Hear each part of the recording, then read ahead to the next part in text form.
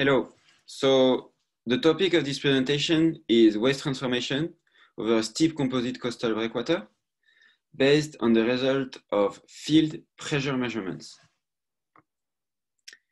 So wave impact on coastal structure has been identified as the main source of failure for them.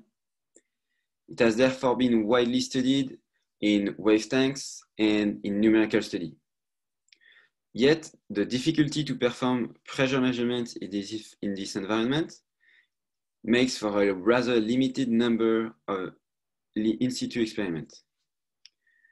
On another matter, wave propagation over gently sloping beach is a really well-known process, but wave propagation over steep, fractured, and complex bathymetry is still a research topic. To assess this problem, we'll in the first step present the method that we use to perform pressure measurements in the vicinity of the breakwater. Then we'll present the result of those measurements. And finally, a few numerical tests that were conducted on the base of those results. So the breakwater of our interest is the Artha breakwater in the southwest of France, in the city of Saint-Jean-de-Luz, at the deep end of the Bay of Biscay. It, was, it is a composite breakwater that is built on an existing reef at the end of the 19th century, following a series of flooding that were due to winter storm, large winter storm.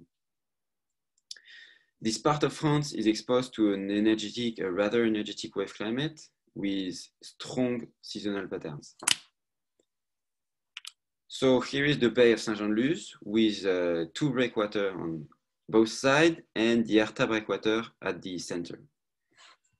We have in A a directional wave buoy, part of the French network of uh, observation of, of, wave parameter, the CANDHIS network. Then in B, we have a tide gauge. In C, a semaphore that provides wind speed and direction. The Artha breakwater is equipped with 16 pressure sensors on the vertical wall of the western roundhead. The western roundhead is the most exposed part to the mainly northwest swell direction. We conducted a statistical study to link the offshore swell parameter, water level, and wind parameter to the wave impact pressure. The result of this study showed that it was necessary to better understand the transfer process from the offshore swell parameter to the wave parameter at the toe of the breakwater, but also the wave propagation in the block armor of the breakwater. So the experimental setup that was um, proposed to answer this question is the following. We have seven sensors distributed over two transects one main transect of five sensors with a directional current meter and four pressure sensors and a, a of two sensors. So as you can see in figure A, the structure that held the sensor was really robust. It's made of a stainless steel tubing that is fixed on a stainless steel corner and the stainless steel corner is anchored in the block armor. It is screwed in the concrete. Yet, the upper sensor of our main transect was lost, lost to wave impact. It tells about the violence of this process. So as you can see, we have the profile of the bathymetry of this section, and we have some very steep slope in certain parts and a fairly irregular profile. The range of condition that was observed during the measurements goes from 0.5 offshore significant wave height to 4 meters. For the directional uh, current meter, we have a more restricted range of observation as its battery lifespan was shorter. So the directional current meter offered exploitable results from the 10th of October 2018, from the 25th of October 2018. So the pressure sensor offers a wider range of observation with wave height up to four meters. And that wave height of four meters is an interesting event. The first topic that interests us then is the shoaling process from the buoy to the sensor. As you can see in the figure below, the influence of wave orientation was evidenced. For swell of more than 295 degrees, it seems that it is clear that the wave height at the lower pressure sensor is smaller than the offshore significant wave height. So this is taking into account both the incident and reflecting wave height. For northern swell, the, the slope is closer to one. For more western swell, sorry, the, close, the slope is, is closer to one. The other factor that was study is uh, water level, but for this parameter, the influence of water level on the link, the transfer function between offshore swell significant wave height and uh, the significant wave height at the toe of the breakwater is much less clear. So the result of this study is that the transfer function from the offshore wave buoy to the toe of the breakwater is not simple. It means that we probably need to use 2D numerical models to better understand this transfer function. The reflection coefficient at the breakwater was then assessed. So we assessed this reflection coefficient based on a three probes method because the velocity field measured at the directional current meter presents some uncertainty and therefore the three probe method uh, felt like a more, much more robust way to determine this reflection coefficient.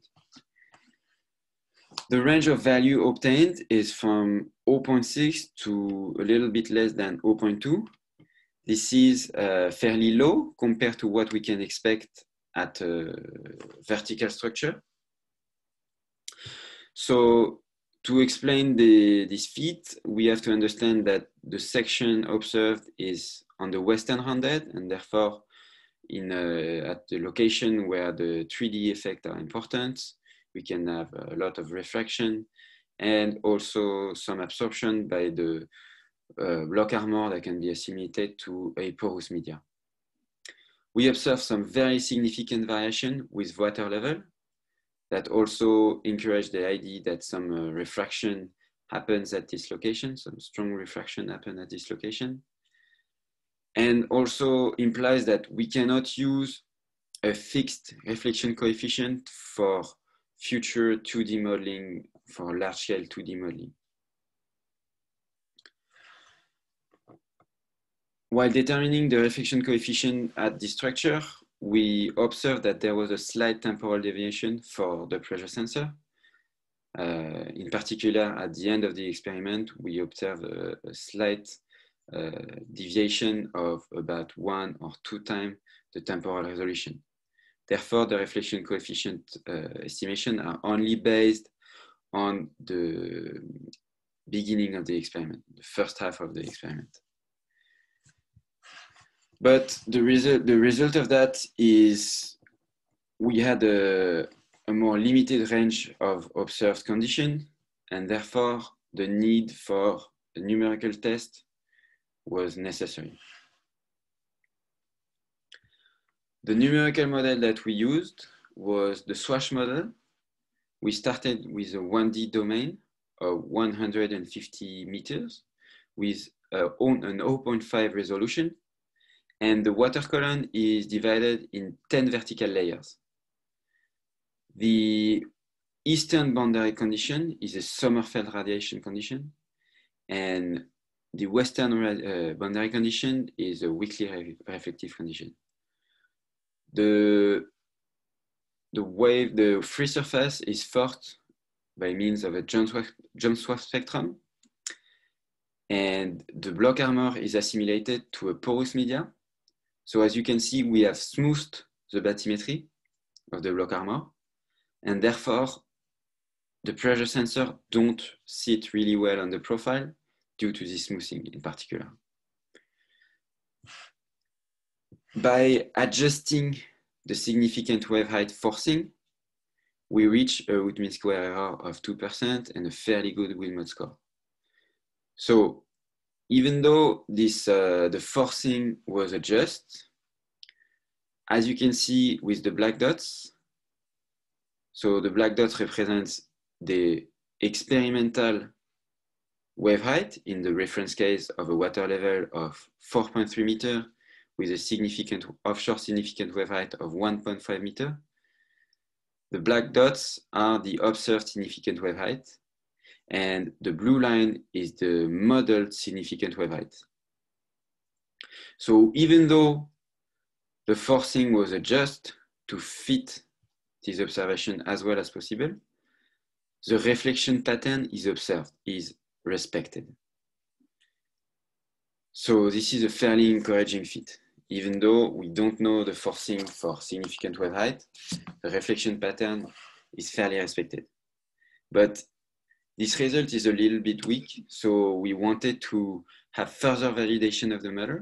And for that, we used the pressure measurements on the vertical wall of the caisson. And we compared the number of pressure impacts and the number of submersion events that was observed in the SWASH model. So in A, you have the pressure signal observed at one of the pressure sensor on the vertical wall. And in B, the free surface observed at the same location in the model. The number of events is really coherent for this case, this case of the reference case of with 4.3 water level and an offshore significant wave height of 1.3 meter. So in this case, with high water level, the number impact is really well connected with the wave period. And therefore, the, we of course need further validation of this model in a wider range of observation, whether from the profile of uh, significant wave height and also for the number of wave impact. Another uh, thing that will be assessed is the reflection coefficient in both the numerical model and in the experimental uh, results. Of course, the numerical model is 1D, and so uh, we can expect some difference in the reflection in the reflection coefficient. Then, once the model validated, we'll be able to provide an estimate for the design wave height and therefore, we will be able to assess the stability of the structure based on the knowledge we have of this section from the pressure sensor in the block armor to the pressure sensor in the vertical wall. Thank you very much.